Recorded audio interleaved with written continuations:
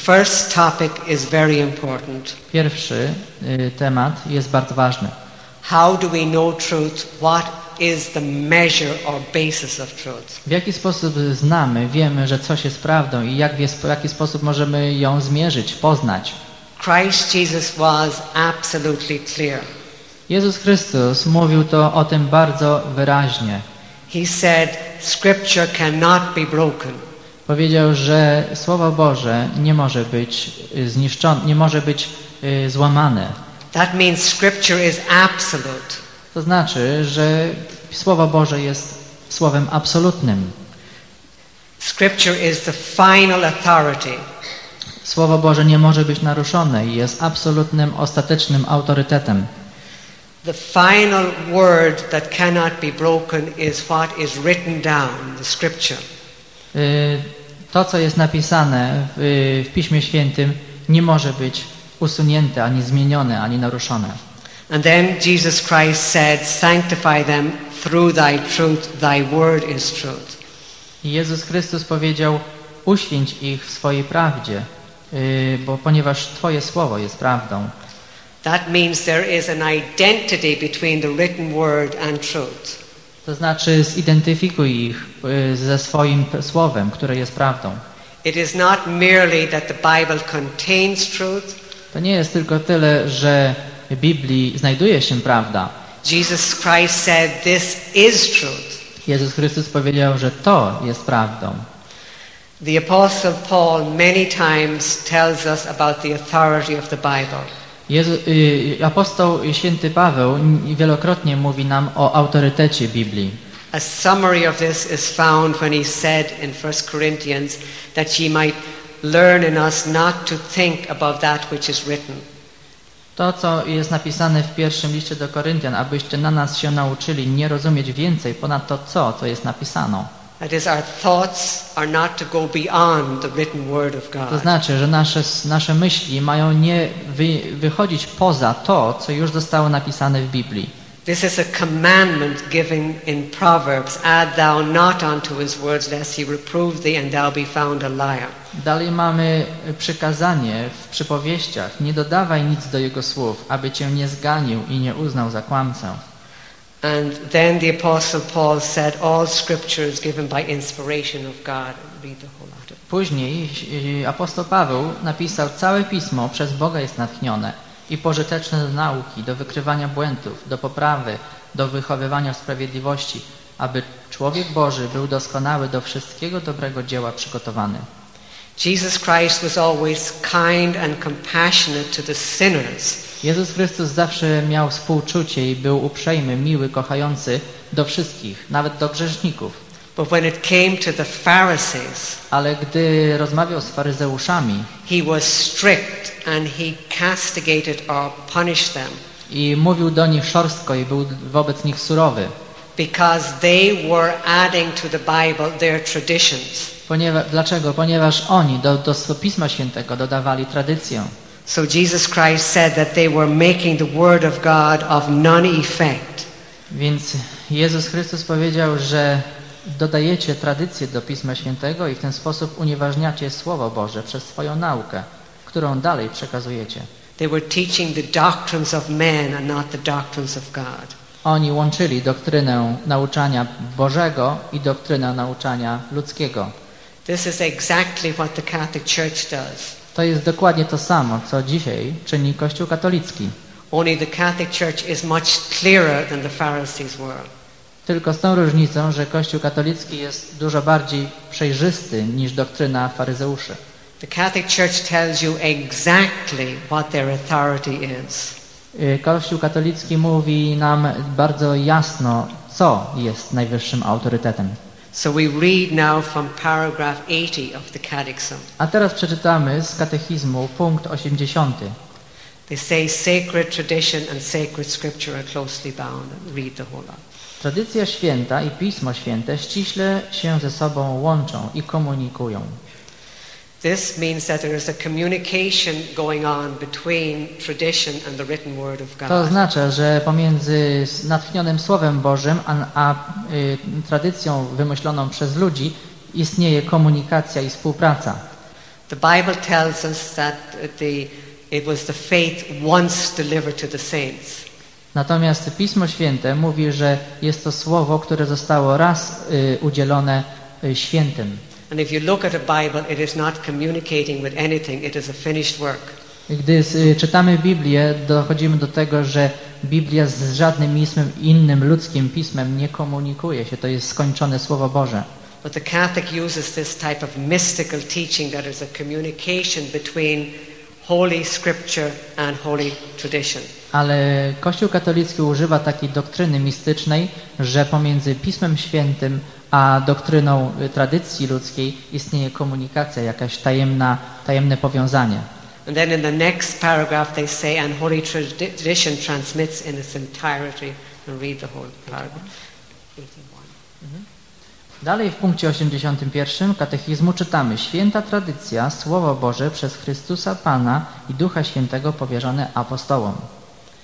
This is a real shock to anybody who knows the Bible. Dla każdego, który jest chrześcijanem wierzącym biblijnie, to jest wielki szok. The Bible keeps telling us that the Holy Spirit transmits the Word of God. Biblia mówi nam, że Pismo Święte jest udzielane ludziom poprzez Ducha Świętego. The Holy Spirit is the Spirit of truth. Duch Święty jest duchem prawdy. A Pan Jezus powiedział, że Duch Święty objawi nam całą prawdę. But the Catholic Church tells us that it is Holy Tradition that transmits the Word of God. Ale Kościół katolicki naucza nas, że to święta tradycja objawia nam całą prawdę. Then the Catholic Church gives us exactly what their authority is. Później Kościół katolicki wyjaśnia nam dokładnie, na czym polega jego autorytet. And so they say, as a result, the Catholic Church does not derive her certainty. Next.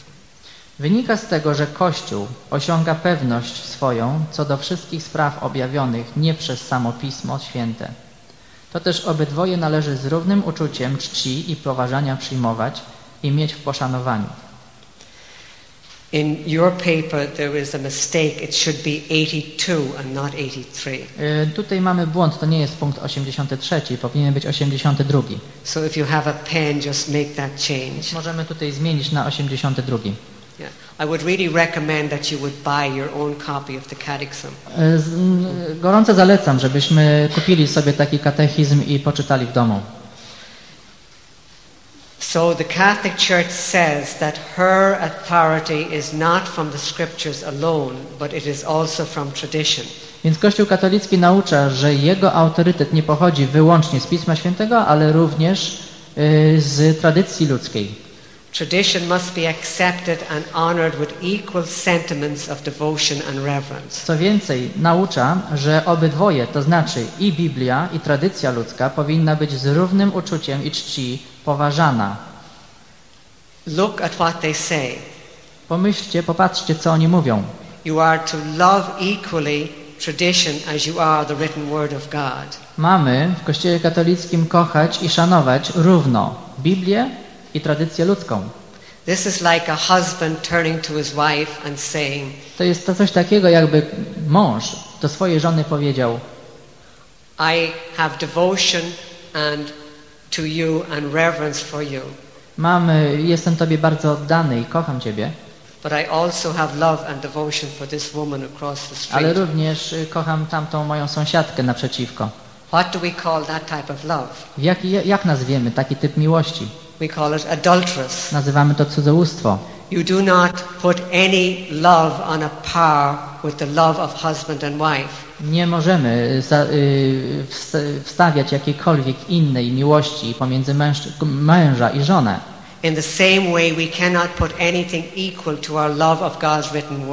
W taki sam sposób nie możemy cudzołożyć z nikim innym w naszej miłości, relacji pomiędzy człowiekiem a Bogiem.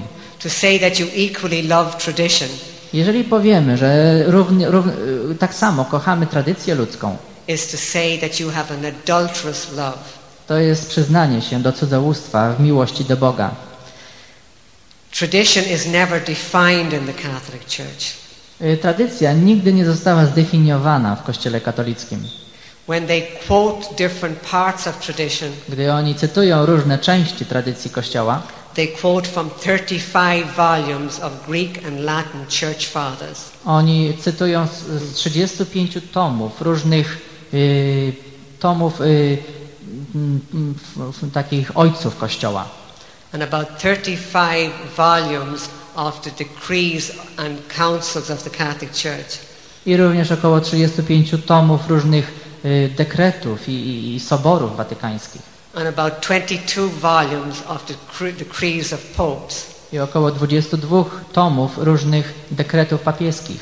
And about 55 volumes of the lives and doings of saints. I jest 55 tomów żywotów świętych.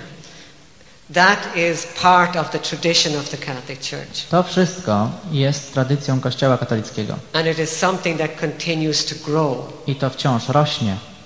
Mother Teresa now becomes part of the tradition of the Catholic Church. Teraz już nauczanie Matki Teresy zaczyna być y, częścią tradycji Kościoła.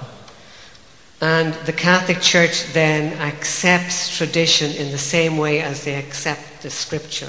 Więc Kościół katolicki w ten sam sposób akceptuje tradycję Kościoła jak Pismo Święte. This should move your heart with compassion for Catholics To naprawdę powinno napełnić nasze serca współczuciem do katolików, because the foundation they stand on ponieważ ten fundament, na którym oni stoją, is not the firm, solid foundation of the Word of God in nie jest, Bible, nie jest mocną skałą Słowa Bożego, but it is this foundation of tradition mixed together with the Bible. ale jest to fundament zmieszan- mieszaniny tradycji ludzkiej i Słowa Bożego. If the foundation is wrong, the whole building is wrong. If the foundation is shaky, the whole Jeżeli, jeżeli fundament jest kruchy, to cały budynek też może upaść. How does Catholicism hold together? W jaki sposób Kościół katolicki utrzymuje się w całości?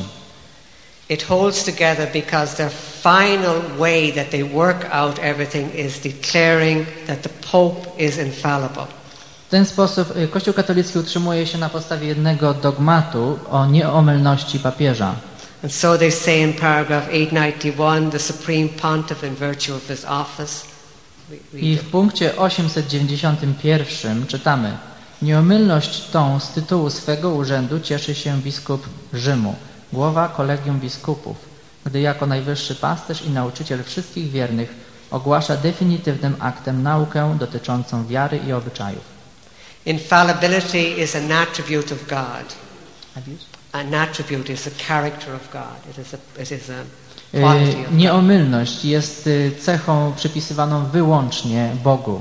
The Bible says that every man be true, every man is a, a liar and God only is true. Biblia mówi, że każdy człowiek jest kłamcą, a jedyną, jedyną osobą, która mówią prawdę jest Bóg i Jego Słowo. The Catholic Church declares that its Pope has this, this character of God. Kościół katolicki uważa, że papież ma tę cechę boską, nieomylności. When you, when you study Catholic history, Gdy studiujemy historię papieży katolickich,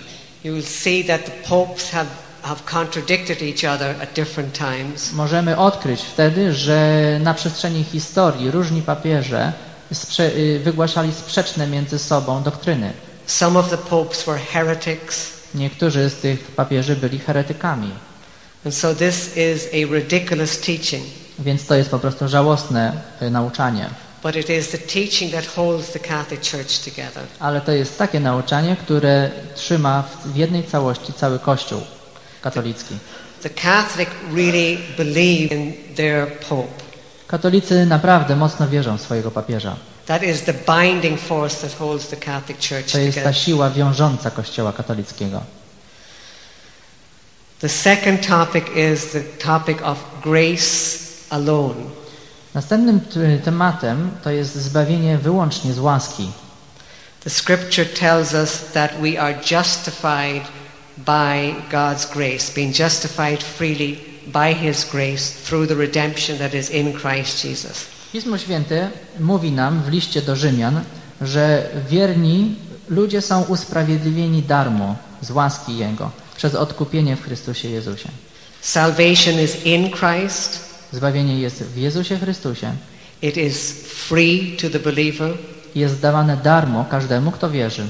And the redemption, the payment was made by Christ Jesus. a odkupienie było w pełni uczynione przez Jezusa Chrystusa. When Christ Jesus lived the perfect life Jezus Chrystus żył życiem doskonałym, bez grzechu. and he died on the cross in the perfect sacrifice, I Jego śmierć na krzyżu była doskonałą, skończoną ofiarą. there was nothing more to pay. Już więcej nic nie ma do zapłacenia.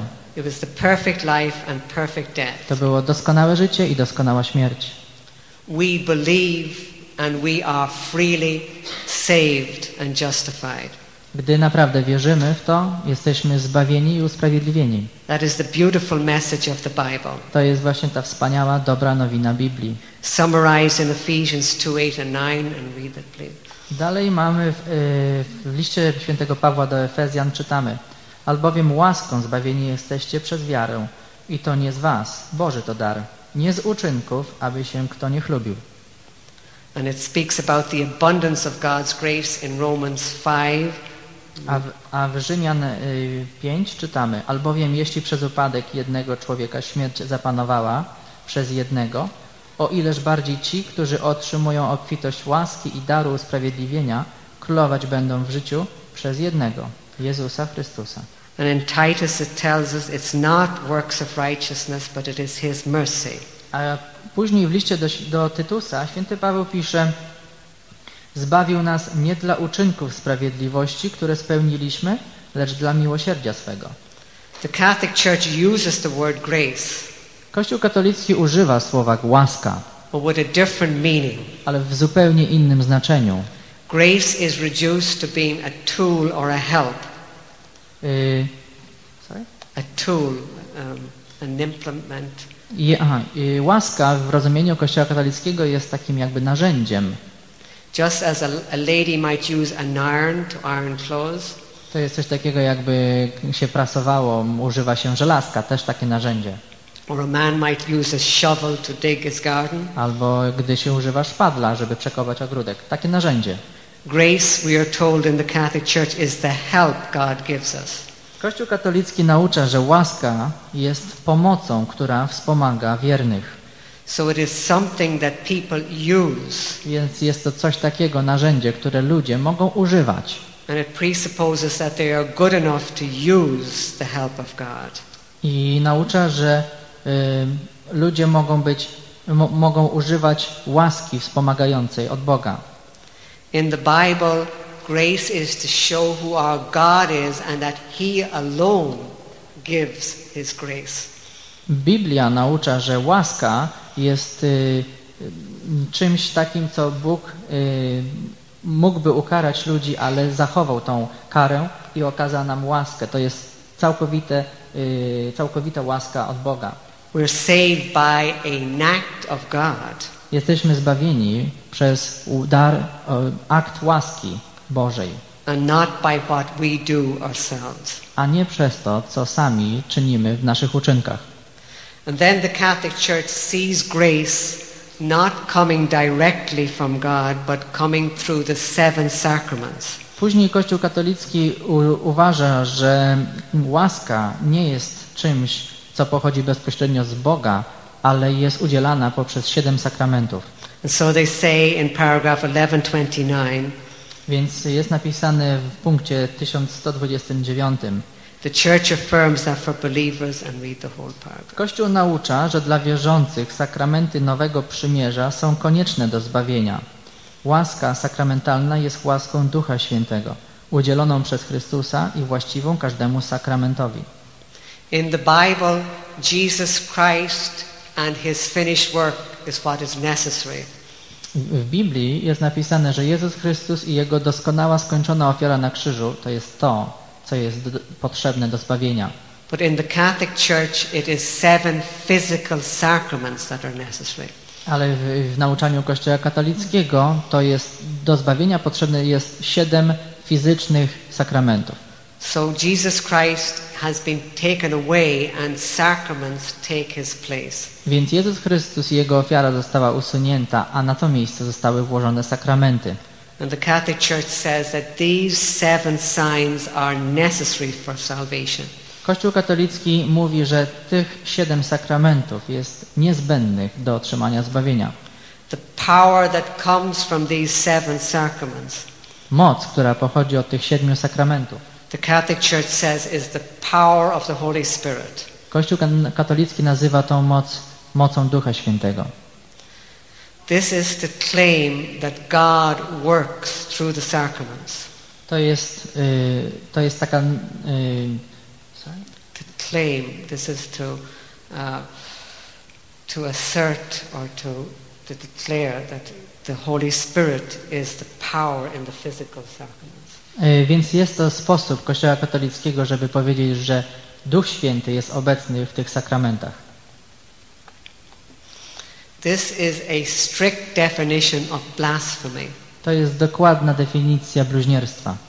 The Bible tells us that anybody who speaks against the Holy Spirit commits the sin of blasphemy. Biblia nam mówi, że każdy, który mówi wbrew Duchowi Świętemu, popełnia grzech bluźnierstwa. To say that rituals are the power of the Holy Spirit A jeśli ktoś powie, że pewne obrzędy, rytuały są mocą Ducha Świętego, is to speak directly against the Holy Spirit of to jest God. nauczanie do, do, bezpośrednio wbrew nauczaniu Ducha Świętego.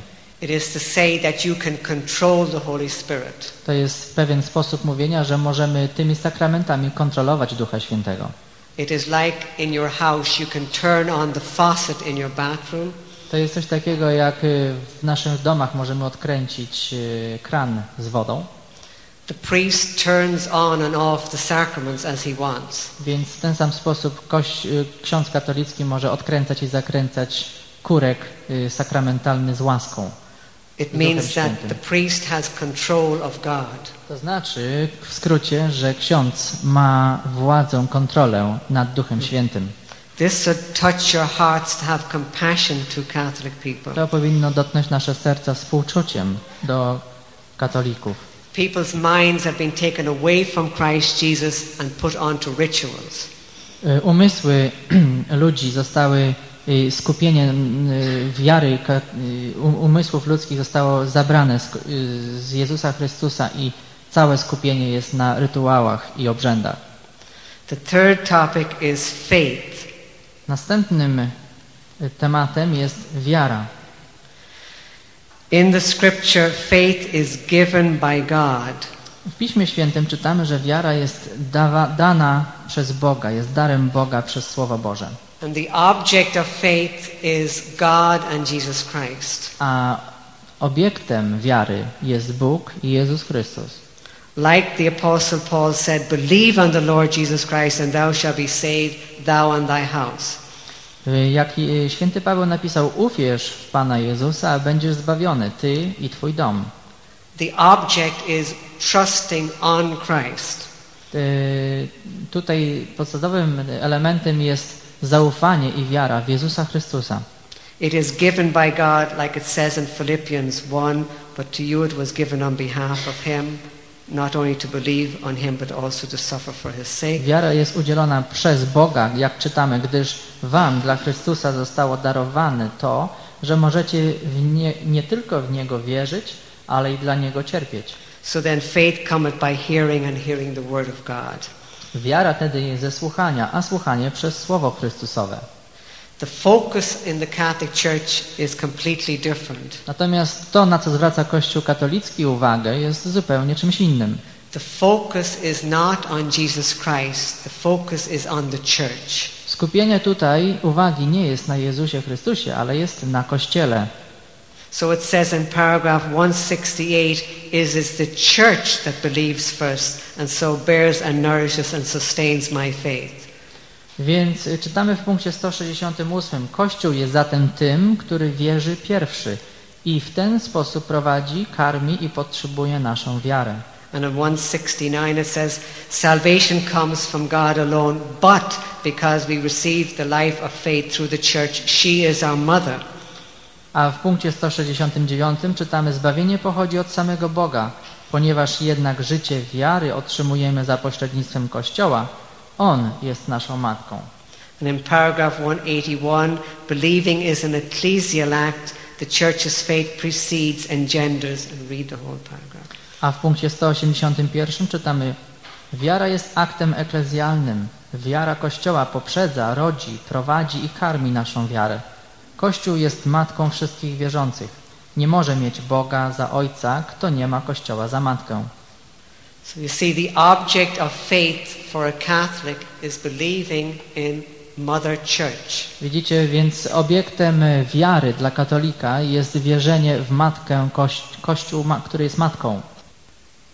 Powinniśmy modlić się, żeby Bóg udzielił nam mądrości i współczucia, żebyśmy mogli wyprowadzić naszych braci katolików do prawdy.